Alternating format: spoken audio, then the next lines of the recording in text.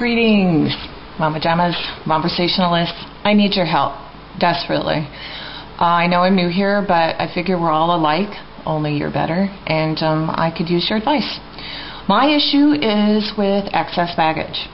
Uh, granted, a lot of people have excess baggage emotionally, and boy, I have tons of that. But that's not what I'm talking about today. What I'm talking about is the excess baggage on my face. Uh, this was pointed out to me cruelly a few weeks ago. We were having a barbecue and um, for my husband's boss, so it was a big deal. And I spent more than 40 seconds on my makeup. I wore new clothes. I cleaned the house, kind of. Well, I cleaned where I knew they would be and shut the doors to the rest. But anyway, I was dumb enough to walk out of the bathroom and say to my husband, We're almost set to go. How do I look? And he was dumb enough to tell me, Pretty. Tired. My God, even your bags have bags. I didn't know that was possible. Honestly. My husband uh, has one fatal flaw, and that is that he's honest. No matter what. It sucks.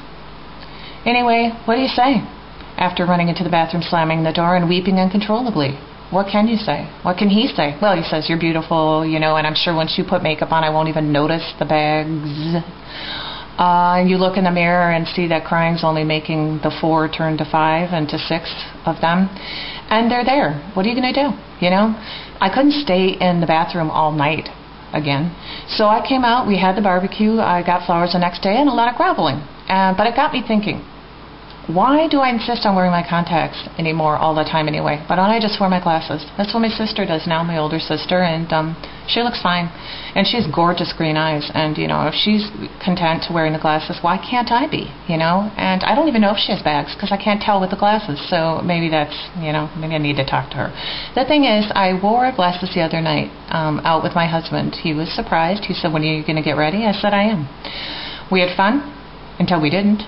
Uh, he told the kids when we got home that he noticed something about their mother, uh, um, something about how she looked, and I was, hmm, yeah. And he said, um, with her glasses, she looks just like Austin Powers. There are two problems with this. Uh, first of all, it's awful to say, and second of all, he was there when I picked glasses out and told me they look great when I brought this up to him that night, he said, "Hey, you know, you never wear them anywhere but you know the grocery and you know to bed reading. You know, you looked great for that. Besides, I want to get the hell out of there." Again, Mr. Honest. You know. Anyway, my question is this: Should I ditch my contacts and try to hide my baggage uh, with my glasses? Yeah, baby, yeah. Or no, baby, no. Please give me your advice, people. I'd really appreciate it. I can't see a thing with both glasses and contacts.